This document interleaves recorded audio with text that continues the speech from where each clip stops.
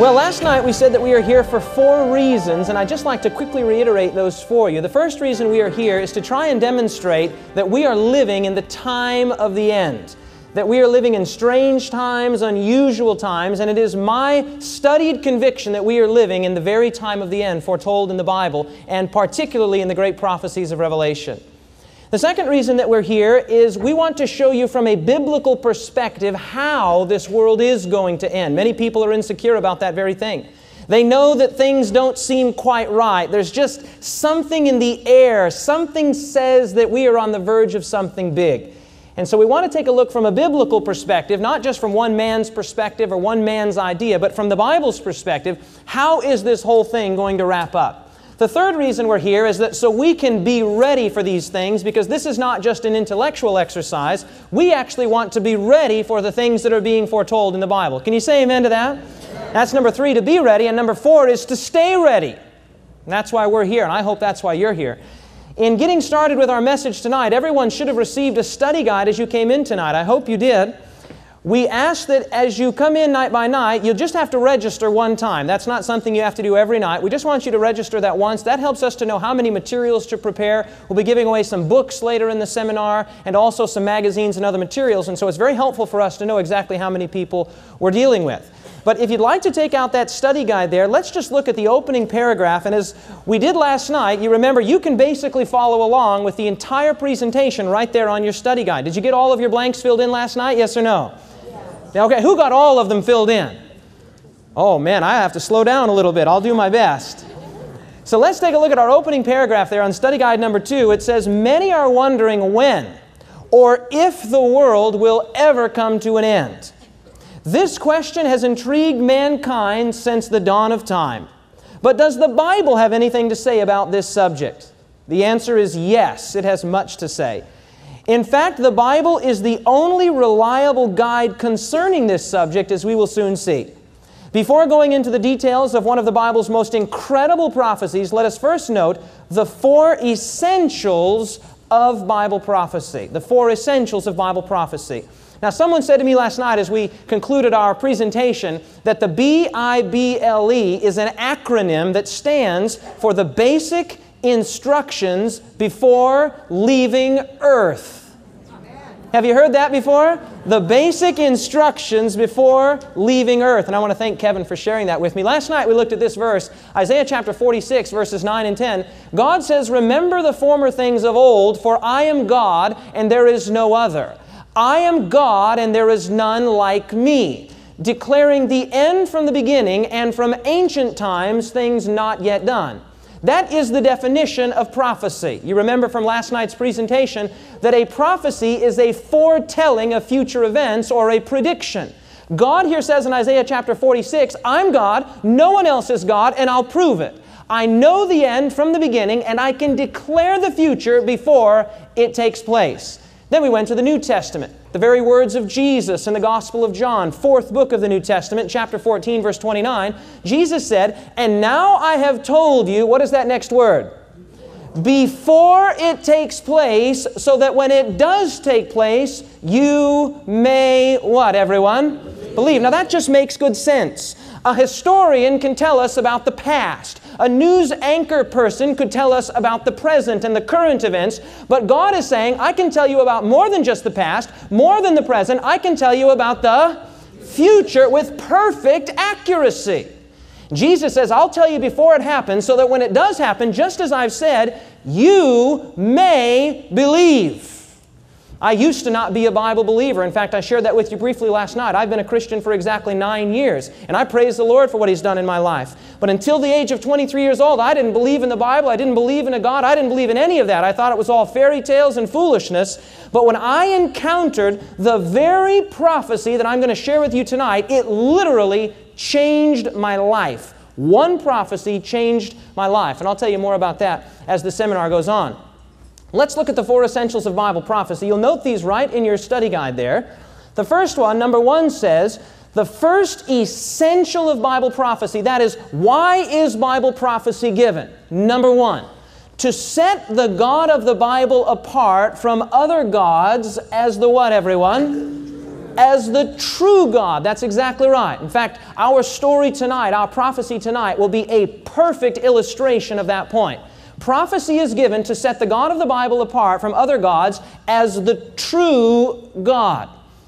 Number two, the second essential of Bible prophecy to accurately reveal the future and thus create faith in the heart of the hearer.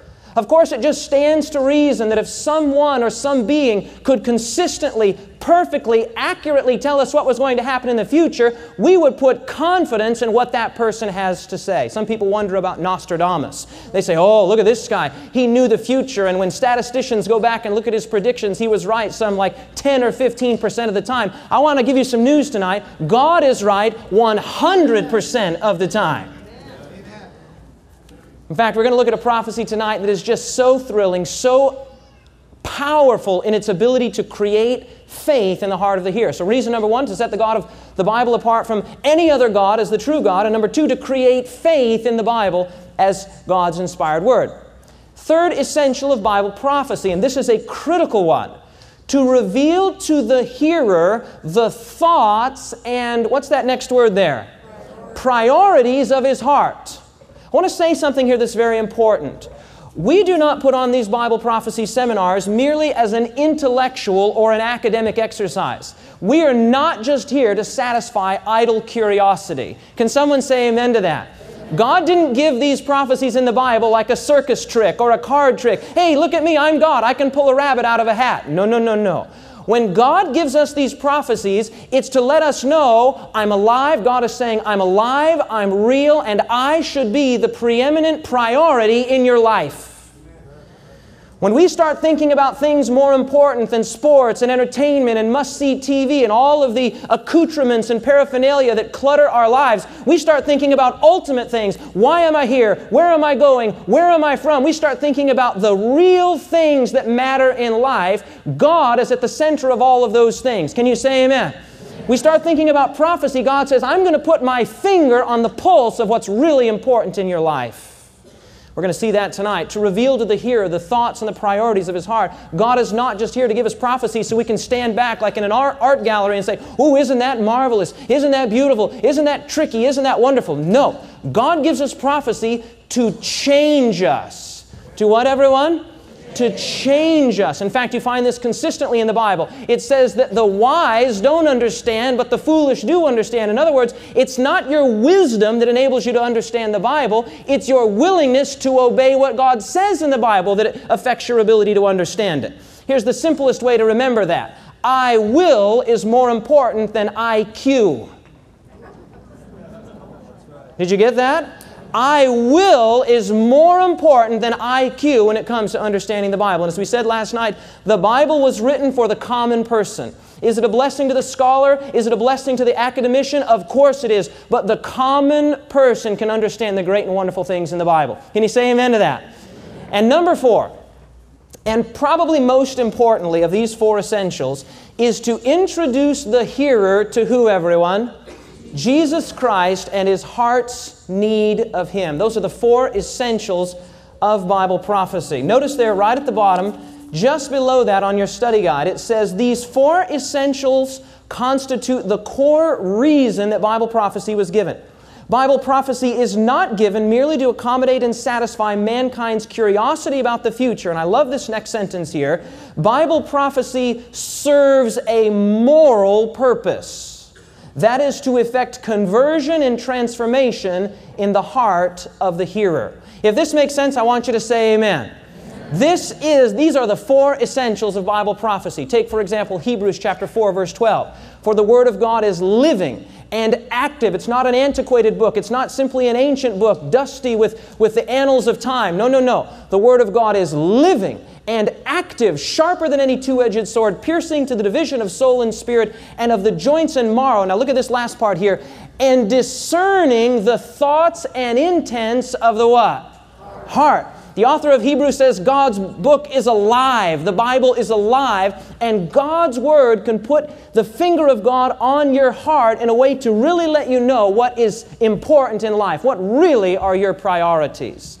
And then 2 Peter chapter 1 verse 19 Peter says, We have something more sure. He's actually talking in context about the evidence of his senses. He says we have something more sure than the evidence of our senses. What is more sure than the evidence of your senses, Peter? The prophetic word to which you do well to pay attention as a lamp shining in a dark place. He says, pay attention to it until the day dawns and the morning star rises in your hearts. In the context, the morning star there is Jesus Christ. What Peter is saying is pay attention to the prophecies because the purpose of the prophecies is to cause Jesus to be seen in your heart and in your life. Thank you very much, Nathan. Okay, Arian, Niu, Darlene, Niu. Uh, this baby needs its mother. So if that's if that's you, you need to go see your little baby. Okay? We're going to go tonight to the book of Daniel. Why don't you turn there with me if you would? The book of Daniel. We're on page two of our study guide now, Daniel. You say, well, where is the book of Daniel? It's in the Old Testament. If you open your Bible right to the middle, you'll probably be in Psalms. Go forward then through Isaiah, through Jeremiah, through Lamentations, Ezekiel, and you'll arrive in the book of Daniel. Daniel chapter 2. Daniel, what chapter, everyone? 2. We're at the top of page 2 on your study guide. Top of page 2 on your study guide. Top of page 2 on the study guide. The paragraph there at the top says, This prophecy, given roughly 2,500 years ago, is precisely calculated to give us hope and courage in these strange times. Most people recognize that the world is seemingly spinning out of control. Violence, immorality, war, pollution, terrorism, and a host of other factors at unprecedented degrees are causing thinking people to wonder how much longer can we go on like this? In fact, tomorrow night we're going to take a very specific look at these so called signs of the times, and that will be an awesome presentation. I've been doing some brand new research on some cutting edge signs of the times as to how we know for sure that this world cannot continue to last as it is. I want to invite you to come back tomorrow night. You will not want to miss that.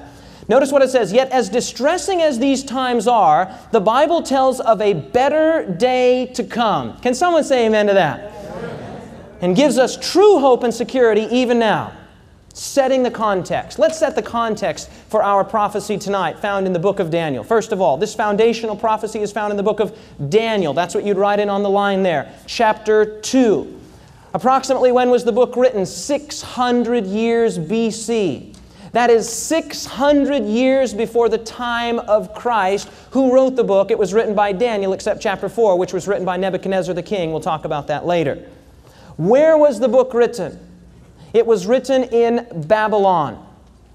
The story is, is basically a sad one. It's, it's a terrible one. The people of God had been consistently and, and obstinately disobedient to God's law, to God's covenant, and to God's word. And finally, God said, Listen, if you won't hear me in times of prosperity, I'll send you adversity. It was C.S. Lewis, the great Christian author, who said that God whispers to us in our pleasures and shouts to us in our pain. Sometimes, if we won't listen to God when things are going well, He'll shake us up a little bit. Isn't that true? Yes or no? And it's not because He doesn't love you, it's precisely because He does love you. And that's what you find in the Old Testament. God had a people that He loved dearly, the nation of Israel, and He pled with them and He, he, he urged them and he rebuked them and he tried to compel them through his prophets, and consistently, obstinately, they refused. And finally, he said, If you won't pay attention, I'm going to send another nation, the nation of Babylon. They're going to come, they're going to destroy your city, destroy the temple, and carry away some of your finest and best young people. And that's exactly what happened. The Babylonian armies under Nebuchadnezzar, that was the Babylonian king, came and absolutely destroyed Jerusalem to the ground. Thousands, tens of thousands were destroyed in that terrible conflagration. Nebuchadnezzar took some of the best, the A students, the chief, the tops, out of Jerusalem and he marched them 800 miles across the Babylonian desert, brought them back to Babylon where he would train them in the customs and the society and the government and the culture of the Babylonians. Then he would take them and set them up as puppet rulers over various provinces of Babylon. Daniel was one of those who was led out of Jerusalem to Babylon and endured the schooling and almost brainwashing of the Babylonians. That helps us to set the context a little bit. Notice there, why was Daniel taken from his homeland? You know the answer now. What does the name Daniel mean?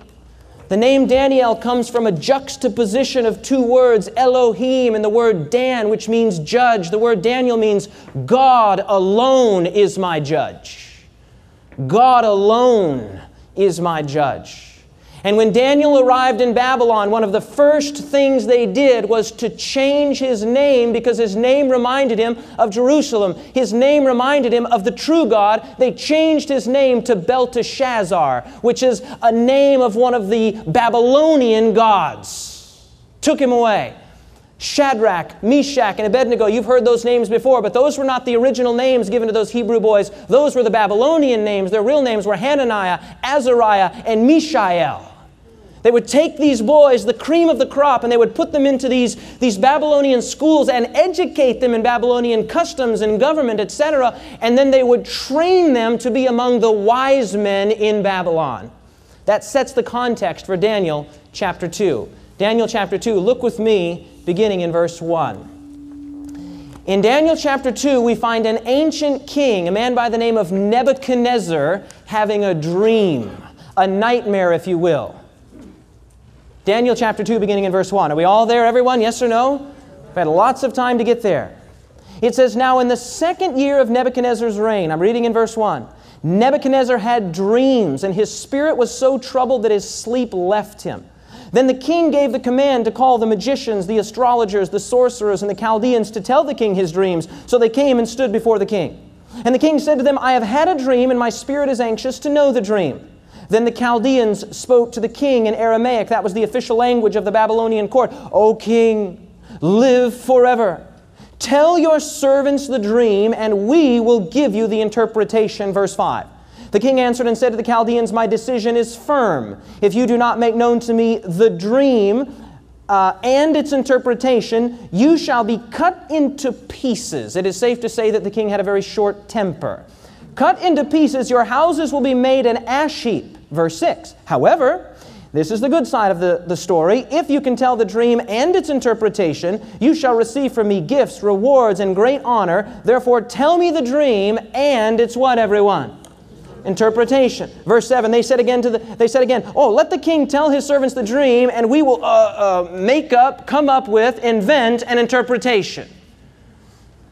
Notice that Nebuchadnezzar wants two things. It's the middle of the night. He's, he's woken from his sleep. He's troubled by this dream, and he can't quite remember the dream, but something tells him it's important. And so he's trying to recall the dream, and when he can't do it, he calls in his wise men, the magicians, the astrologers, the Chaldeans, who are the PhDs of the Babylonian court. He calls them in. He says, Fellas, I've had a dream, and there's something about the dream that tells me that it's important, but I can't remember the dream. I need you to tell me the dream and what it means.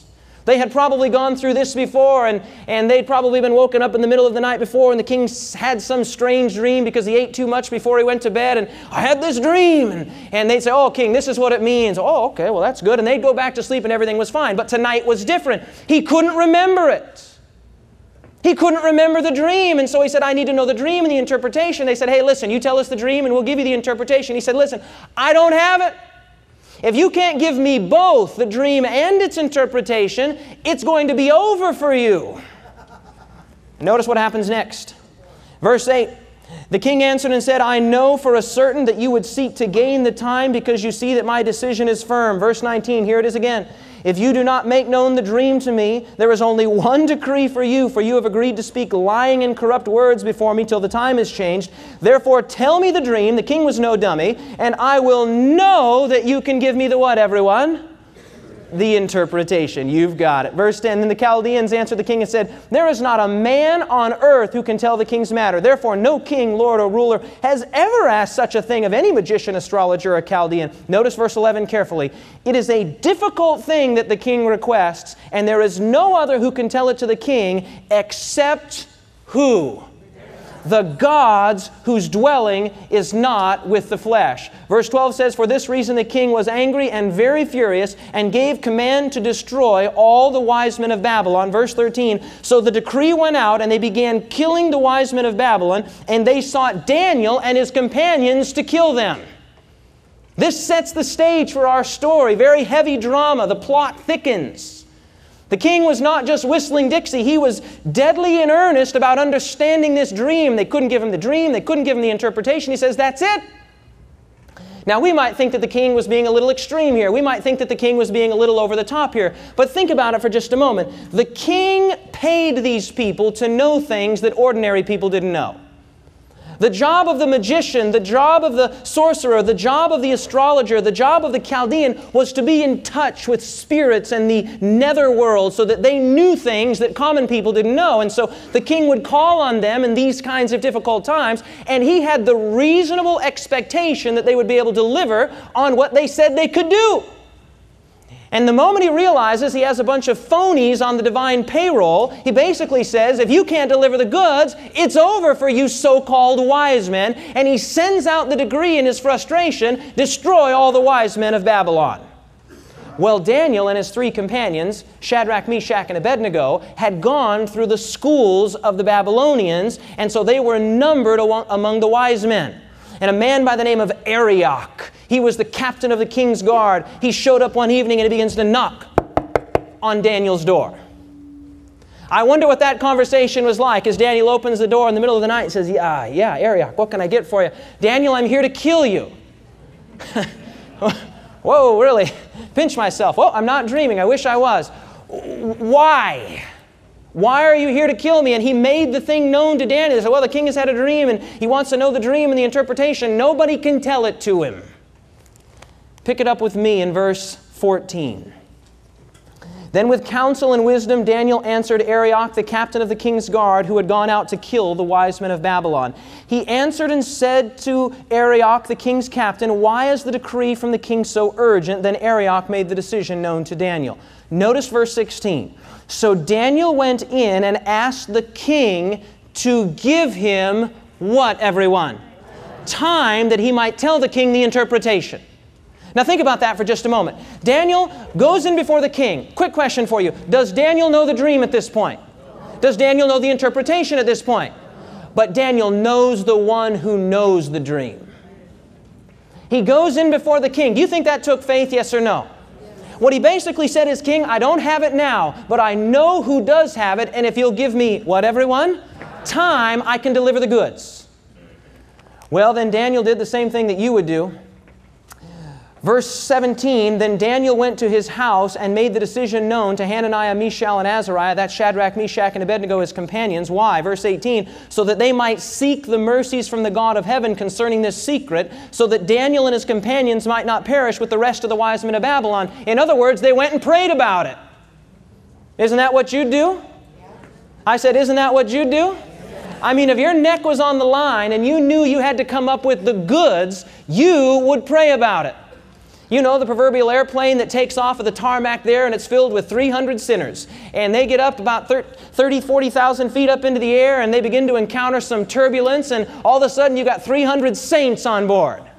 Oh Lord, if you just get me off of this plane, I'll live my life for you. I'm so. Oh, and the captain gets the thing under control and it lands safely, and 300 sinners walk off. You know how it is. When the, the going gets tough, when tough times come, we, we know what's most important in life, don't we? Yes or no? Absolutely. In fact, we're going to have a message entitled, you looked at your advanced schedule, that says How to Face Death Unafraid and with Absolute Confidence. You don't have to be afraid to face, de- face death if you've put your faith in Him who has already faced death and has conquered it. Amen. Amen. We'll come back to that. Don't get me to preach it on that tonight. I I got, I got stuff to talk about. So now look at here. We're on the king has a dream, verses 1 to 12. We should easily be able to fill these blanks in. King Nebuchadnezzar had a dream in the second year of his reign. He called for the wise men, the astrologers, and the Chaldeans. Could they give the help that the king wanted, yes or no? No. What two things did the king want, everyone? He wanted the dream and the interpretation, you've got it. According to the king's counselors, who alone could give the information that the king wanted? That's exactly right. They knew it. They said, hey, listen, what you're asking is strange. It's unusual. No king or lord has ever asked this of any wise men or astrologer. Only gods know this. Notice the next part there. Daniel was sought. Daniel asked the king for time. What did Daniel do after visiting with the king? He went and prayed. That's what would you have done? you would have prayed too. Now, look at verse 19. What is the first word of verse 19, everyone? Yeah, my Bible, it says then. Now, I want you to think about that for just a moment. Then is a chronological term. It's a term that has to do with time. With what, everyone? Time. Now, look at it, verse 17. Then, Daniel, or pardon me, uh, verse 19, then the secret was revealed to Daniel in a night vision, so Daniel blessed the God of heaven. Wouldn't you? I mean, Daniel's praying, Hananiah's praying, Azariah's praying, Mishael is praying, oh God, our head's on the block, and all of these other phonies' heads are on the block, and we don't want only to lose our own lives, we want to preserve the lives of these people. So, oh God, give us the dream. And God came through right on time. Isn't that awesome? Are you with me? Yes or no? Have you ever had God answer a prayer? You know that sense, that feeling that God is at work. So the Bible says Daniel blessed the God of heaven. Notice what he says in verse 20. He has a little praise session there. Daniel answered and said, Blessed be the name of God forever and ever. For wisdom and might are His, and He changes the times and the seasons. He removes kings and raises up kings. This gives you a little hint into what the dream is actually about. Knowledge to those who have understanding. He reveals deep and secret things. He knows what is in the darkness, and the light dwells with Him. Verse 23 I thank you and praise you, O God of my fathers. Wouldn't you be thanking Him and praising Him? Yes or no? Sure, you would. You have given me wisdom and might, and have now made known to me what we asked of you, for you have made known to us the king's demand. Now, notice right there in your study guide, it says, What was the first word of verse 19? The word is then. Why is this word so important in this setting? Because the Bible teaching is you have to ask before God can give. Did you hear that? You have to ask before God can give you many of the things that you so desperately need. Why? Because God's a gentleman. He doesn't want to violate your free will. He doesn't want to violate your free choice. God says, Ask and ye shall receive. In fact, that's the next page of your study guide there. Turn the study guide over. Remember the words of Jesus in Matthew chapter 7, verse 7. Ask and it will be given you. Seek and you will find. Knock and it will be opened to you. For everyone who asks receives, he who seeks finds, and to him who knocks it will be opened. Notice how easy this is to remember. Ask, seek, knock spells A S K. Isn't that easy? Beloved, that is a principle of the Bible. Ask and ye shall receive, seek and ye shall find, knock and the door shall be opened. Why is it that God could come through in that tight spot? Why was it that God could deliver the prayer, the answer to the prayer right on time? Because they, what everyone? Asked. You've got it. Now, this is where the plot really thickens. This is where the drama intensifies. We pick it up in verse 24. Therefore, Daniel went to Arioch, whom the king had appointed to destroy the wise men of Babylon. He went and he said to him, Do not destroy the wise men of Babylon.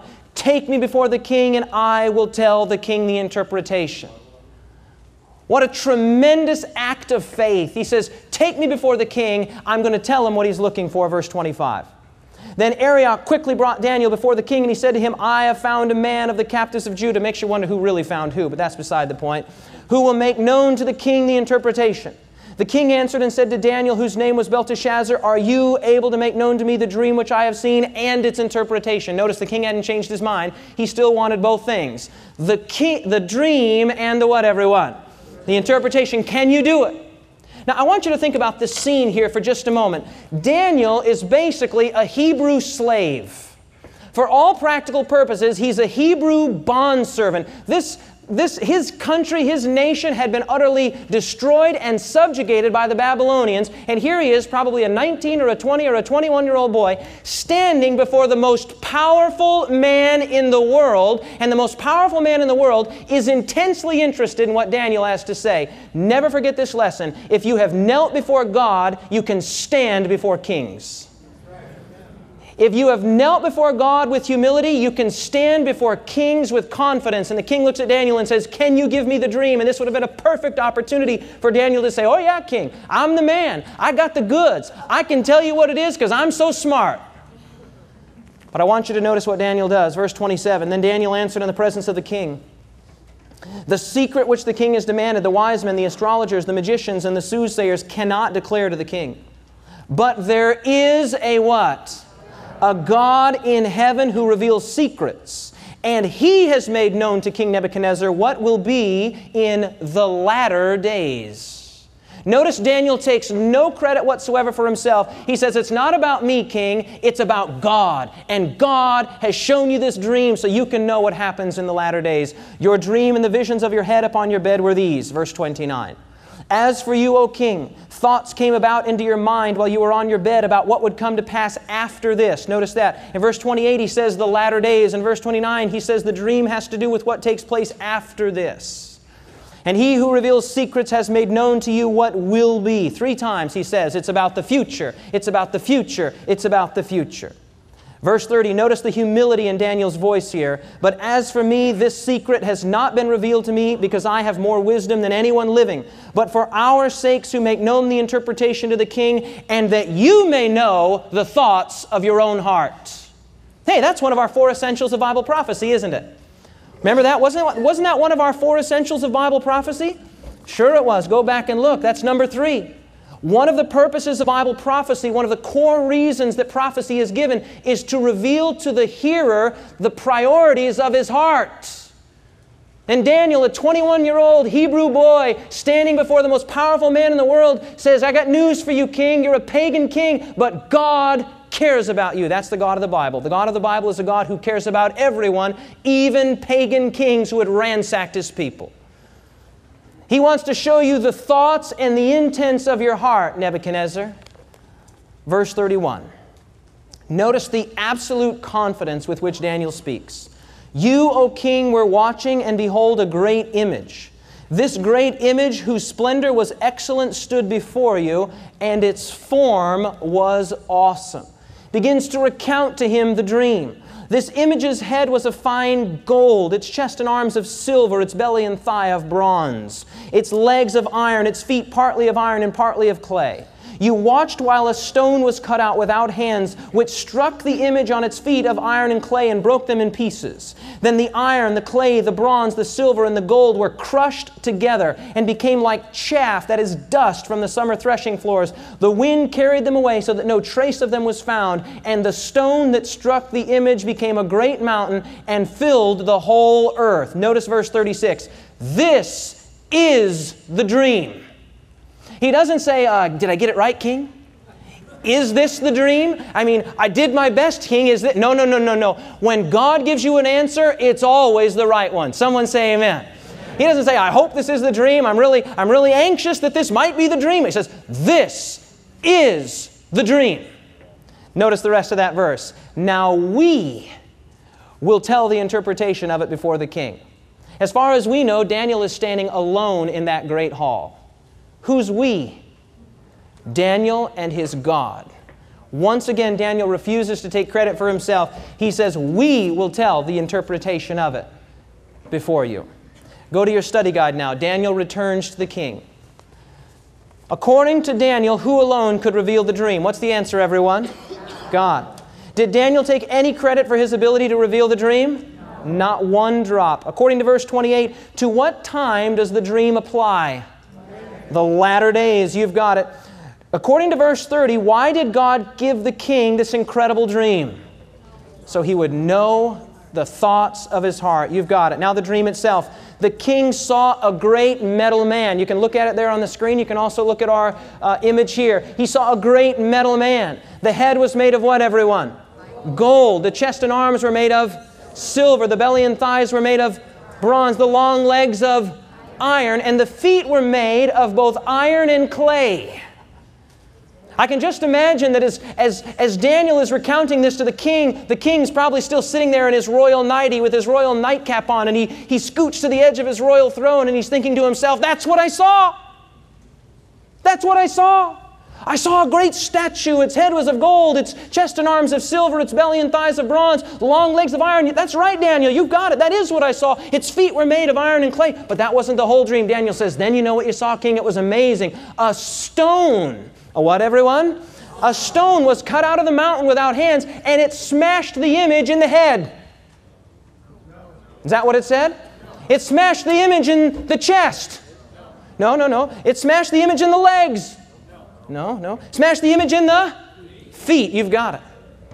And then that stone that smashed the image in the feet grew and became a great, does anyone remember?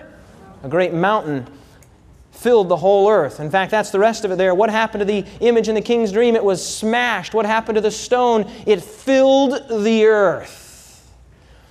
This is the dream. I can just imagine Daniel standing before the most powerful man in the world, saying with absolute confidence, because he had knelt before God, he could stand before that king and he said, This is what you saw. But Nebuchadnezzar wanted two things, didn't he? He wanted the dream, but what else did he want?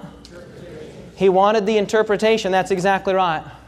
He wanted the interpretation. Let's go to the interpretation, verse 36. This is the dream. Now we will tell the interpretation of it before the king. Verse 37. You, O king, are a king of kings. For the God of heaven has given you a kingdom and power and strength and glory. Notice he even lets King Nebuchadnezzar know that he's just a subject of God. A great king, yes, but nothing compared to the infinite God of the universe. Verse 38 And wherever the children of men dwell, or the beasts of the field and the birds of the heavens, He has given them into your hand. He has made you ruler over them all. And notice with me here the next six words You are this head of gold. You are this head of gold. He says it in plain language. He doesn't equivocate. You know, you can go to Christian bookstores right now and you can buy books right now in the Christian bookstore that will tell you that the head of gold is representing the European Economic Community, that the head of gold represents the European Union. I mean, there are so many fallacious, egregious, and just plain wrong interpretations out there. Daniel said, You are this head of gold. The Bible is its own interpreter. Can you say amen to that? Doesn't take a rocket scientist to figure this one out. He says, What does the dream mean? And he begins by saying, You're the head of gold, O king. Your kingdom is an awesome kingdom. God has given you this kingdom. You're it. And I can just imagine the king there, you know, his buttons bursting a little bit, thinking, Yeah, that's right. Head of gold, baby. Don't ever forget it. the ancient kingdom of Babylon was an amazing kingdom. The ancient kingdom of Babylon basically was on the scene, historians tell us, from 605 till 539 BC. That is before Christ. Nebuchadnezzar was a, a, king who was a great military conqueror, a great political leader, and he was intoxicated with the idea of his Babylon lasting forever. In fact, this is an actual picture of a letter from Nebuchadnezzar, a clay tablet letter from Nebuchadnezzar. And in this letter, part of it says, The whole earth bows prostrate before Babylon. The whole earth, Nebuchadnezzar was almost inebriated with this idea that it would go on forever and ever and ever. Here's a Babylonian clay tablet, right inscribed there, May it last forever. And so when Daniel said, You are this head of gold, I'm sure that Nebuchadnezzar liked that. He said, That's right, I'm the head of gold. May she last forever. But I'm sure that Nebuchadnezzar did not like what Daniel said next. Notice with me verse 39. But after you. What two words, everyone? After you. I'm sure King didn't like this part at all. Shall arise another what, everyone? kingdom inferior to yours. Not, not as if that wasn't enough that another kingdom was going to come. He had to throw salt in the wound and say it's going to be an inferior kingdom. But after you shall arise another kingdom inferior to yours, then another third kingdom of bronze, which shall bear rule over all the earth. And the fourth kingdom shall be as strong as iron, inasmuch as iron breaks in pieces and shatters everything. And like iron that crushes, that kingdom will break in pieces and crush all the others. And whereas you saw the feet and toes partly of potter's clay and partly of iron, the kingdom shall be divided, yet the strength of the iron shall be in it, just as you saw the iron mixed with ceramic clay. Wow! This dream isn't so hard to understand after all, is it? What he's basically saying is this image represents a timeline. A what, everyone? A timeline. He says Babylon is the head of gold, but after you would come another kingdom, and then another kingdom, and then another kingdom, and that kingdom would be divided. All of these kingdoms, by the way, are not just little regional powers, just little regional entities. He says there another kingdom that would rule over all the world. These were the great nations of antiquity. Now remember that Daniel was written 600 years before the time of Christ. He lived during the time of Babylon. The great Ishtar Gate, which is even now in the Pergamon Museum in Berlin, Berlin, this is the very gate that archaeologists have excavated that Daniel would have walked through in our story. That's the very gate that he would have walked through, his heart pitter pattering, and yet still with confidence as he stood before the most powerful man in the world. That's the gate archaeologists have excavated it. We'll talk more about that in another session. He says, After you, another kingdom would come. Despite Nebuchadnezzar's desires and despite his hopes and his plans and his ambitions, Babylon did not continue forever and indefinitely. It was eventually conquered by the kingdom of Medo Persia, which ruled from 539 to 331 BC. 539 to 331 BC. It's called the Medo Persian Empire because it wasn't just the Medes or the Persians. These two nations leagued together to form what historians call the Medo Persian Empire. In fact, it's really quite a remarkable story. We talked a little bit about it last night. A man by the name of Cyrus the Great diverted the river Euphrates into a field. Babylon was one of the great cities of antiquity, 15 miles on each side square. In fact, the walls were 200 feet high in some places. One of the seven wonders of the world was in that city, the great hanging gardens. And the river Euphrates flowed right through the middle of this city of Babylon. It was an awesome city. Cyrus came to that city. The story is told, historians tell us that they came to the city and they saw those tall walls and they knew there's no way we could ever siege the city. No way we could ever surmount those walls. And so, what they did on a certain night when the Babylonians were in a riotous, drunken feast, what Cyrus did in an act of military genius is he went upriver several miles, he dammed the river and diverted the river off into an adjacent field so that downriver, the river went down, down, down, down, and then they marched in through the gates underneath the river and Babylon, that great city of antiquity, fell in a single night. He met basically no resistance. God had said that another kingdom would come, and what God says always comes to pass. Can someone say amen? Even the most powerful king in the world cannot resist the decree of God. But a third kingdom would come, a third kingdom of bronze which would rule over all the earth.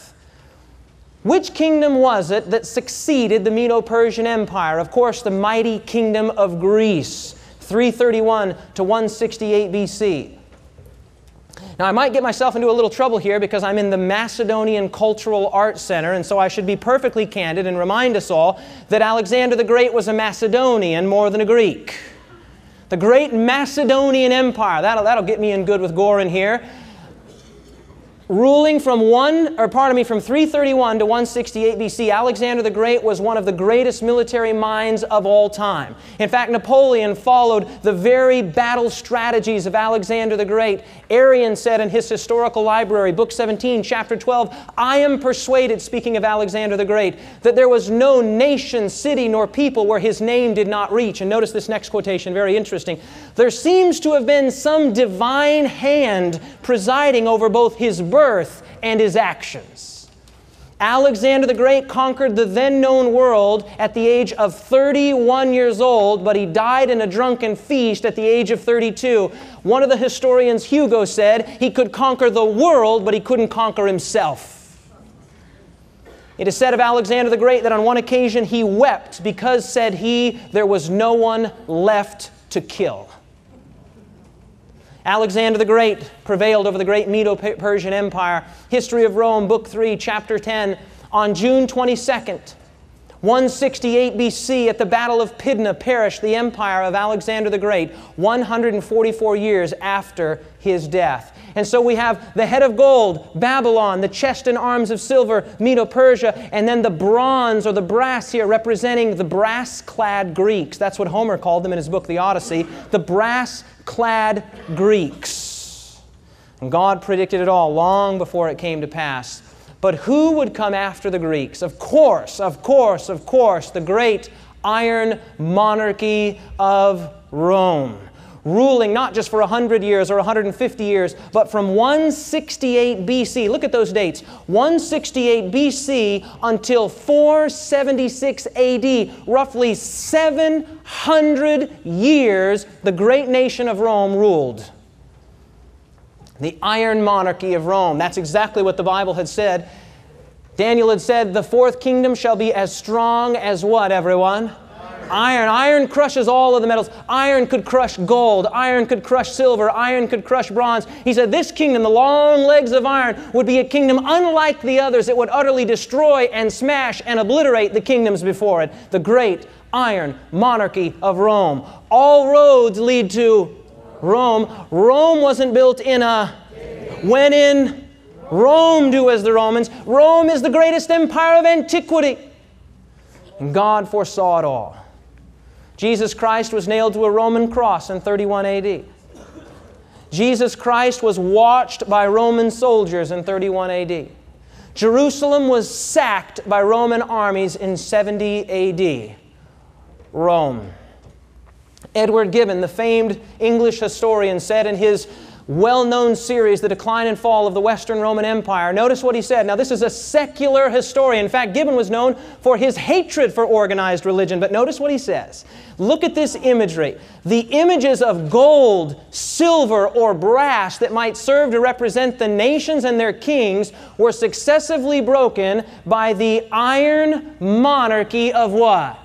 Now, let me ask you a question. Where do you think the historian Gibbon got that imagery, gold, silver, brass, and iron, to represent the sweep of history? Where do you think he got it from? He got it from the Bible, and particularly from the book of Daniel. That's exactly right. So, this is amazing.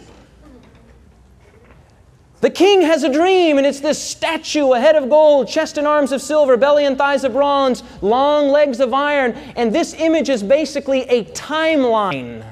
A what, everyone? Timeline. He said, You're this head of gold. But after you comes another kingdom, and after you another kingdom, and after you the great iron monarchy of Rome. Absolutely fascinating. 600 years before the time of Jesus. God is looking forward and He can declare it perfectly and plainly because God alone knows and can declare the future. Can someone say amen? Well, this raises the question who conquered ancient Rome? I mean, Medo Persia conquered Babylon, and Greece conquered Medo Persia, and Rome conquered Greece, but who conquered Rome? The answer is no one conquered Rome. Rome was not conquered from without, it was divided from within. Notice that. Look in Daniel chapter 2 again. Open your Bibles there. Daniel chapter 2. Notice with me verse 40. Daniel chapter 2, verse 40. And the fourth kingdom shall be as strong as what, everyone? Inasmuch as iron breaks in pieces and shatters everything, and like iron that crushes, that kingdom will break in pieces and crush all the others. But notice verse 41 Whereas you saw the feet and toes partly of potter's clay and partly of iron, the kingdom shall be what? God said 600 years before the time of Jesus, the kingdom will be what, everyone? Divided, and the kingdom was divided. That's exactly Right, the kingdom was divided, and that's what's represented by the feet, partly of iron and partly of clay, partly strong and partly weak. The kingdom will be divided, and that's the day we're living in right now divided Rome, or the so called nations of Europe. Europe today is essentially divided Rome from 476 AD to the present tense. There is nothing below the statue. It's just head, arms and chest, belly and thighs, long legs and the feet. That's it. You don't got anything else after your toes partly of potter's clay and partly of iron. The kingdom will be divided. Here's a chart that depicts the invasions and fragmenting of Rome that began in 100, uh, uh, 100 AD. They say here CE, which is the Common Era, that's fine. And, and the fragmentation, the Vandals moving up from, from the north of Africa, and the Saxons, of course, up there in England, and all of these barbarian tribes begin to basically pick Rome apart at the seams until eventually, as my dad used to say to me, you're getting too big for your britches, boy, and it fell apart. That's history. That's history. The kingdom divided, and today we live in, in this very time. Modern Europe. Europe is nothing more than divided Rome. In fact, if you look at the divisions of Rome, here they are. The Alemanni today are the Germans. The Burgundians are the Swiss. The Franks or the French, the Lombards or the Italians, the Saxons or the English, the Suevi or the Portuguese, the Visigoths or the Spanish, the Heruli, the Vandals, and the Ostrogoths are all extinct. We'll talk more about that in another night. All of these barbarian tribes today form what we call Europe. The kingdom remains divided. Now, I want you to go back to your Bible. Go back to your Bible and look at verse 42.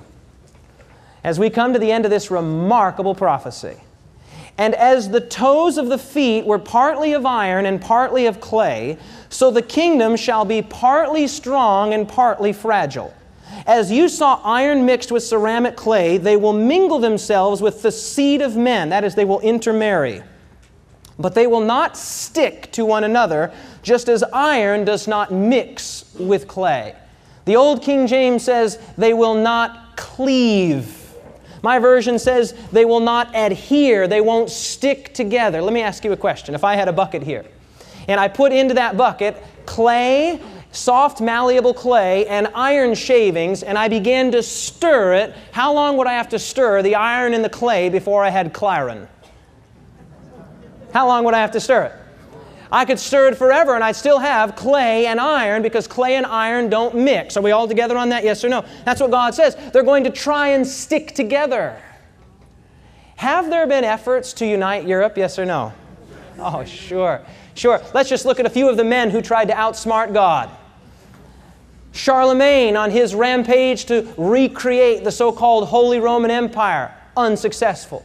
Charles V of Spain unsuccessful. Louis XIV of Spain or France, pardon me, bathed Europe in blood, unsuccessful. Napoleon, unsuccessful. In fact, Napoleon himself, we are told, was shown this prophecy. There is a tradition that Napoleon himself was shown this very prophecy that Europe could not, yea, would not be divided. And as the tradition goes, he took the Bible and threw it across the room. And when he lost his battle there at Waterloo, he said, God Almighty has been too much for me. and of course, Hitler. These are men who tried to outsmart God, but God had said they will not cleave. There have been significant efforts by some of the so called great men of history to bring Europe back under a single, unified head. But none have succeeded. God had declared they will not cleave together. And today we are living in the time of divided Europe. Have there been efforts, even in modern times, to unite Europe? Yes or no? Oh, sure, sure, sure. Here is a very interesting parallel of uh, this, this painting here, which is a famous painting, a famous painting by the Flemish Renaissance painter. Um, his name is escaping me, uh, Bruegel. Famous Renaissance painter Bruegel painted in the 16th century of the Tower of Babel. Does everyone see that? You know the story of the Tower of Babel. Man was going to construct this great artifice to his glory. And look at this. Isn't this very interesting? When the European Economic Community first came on the scene, this was the official poster. Do you see the similarities, yes or no? It's just basically a modern characterization of Bruegel's old famous painting of the Tower of Babel. And notice this Europe, many tongues, one voice. Has there been a push to unite Europe? Sure, but we're not interested in the politics of it. We're not interested in the economics of it. We're not interested in any of that. The fact is, God had said these nations would remain divided. Would remain what, everyone? Divided, and any effort, whether military or intermarriage or political, to unite Europe is doomed to failure because God has said they'll remain divided. If that makes sense, say amen. Whoo! From ancient Babylon on, so there it is. Let's go back there. The dream is certain, and the interpretation is sure. There's the date, so you can get them all down. Babylon was the head of gold, reigned from 605 to 539 BC. Medo Persia, where the chest and arms of silver reigned from 539 to 331 BC. Greece was the great belly of bronze, ruled from 331 to 168 BC. The long legs of iron from 168 BC, almost 700 years later to 476 AD. Rome was not conquered, it was divided, and it remains divided today from 476 AD to the modern times. Despite some of the so called great men of history trying to unite Europe and even political maneuverings and economic maneuverings and intermarriage, there was a time when Queen Elizabeth was called the grandmother of Europe because the Duchess of this country would marry the Duke of this country, and the Princess of this country would marry the Prince of that country country. And the king of this country would marry the queen of that country, but it never could cause them to stick together. Why? Because God said it wouldn't happen. Someone say amen. amen. Absolutely. In the days of these kings, let's finish up the prophecy here. It's basically done. Verse 43 As you saw iron mixed with ceramic clay, they will mingle themselves with the seed of men through intermarriage but they will not cleave one to another, just as iron does not mix with clay. Verse 44. And in the days of these kings, what kings? These kings, right down here, the toes partly of iron and partly of potter's clay. In the days of these kings, the God of heaven will set up a what, everyone? A kingdom which shall never be what, everyone? Destroyed. The kingdom will not be left to other people, unlike Nebuchadnezzar's kingdom, which was left to other people. It will break in pieces and consume all these kingdoms, and it will stand forever. Verse 45 Inasmuch as you saw that the stone was cut out of the mountain without hands, and that it broke in pieces the iron, the bronze, the clay, the silver, and the gold, the great God has made known to the king what will come to pass after this. And notice the last part here the dream is what? Certain, and the interpretation is what? Sure. Daniel knew that he was giving the right answers because the answer came from God absolutely incredible 600 years before the time of Jesus. I want you to think about that for just a moment. What if you had to predict the next 25 years of human history? Could you do it? The 2,500 years of human history, could you do it? From the time of Daniel, 600 BC, until present time is some 2,500 years of human history, and in approximately 150 words, Daniel gives us a sweep of human history. Do you think you could do that?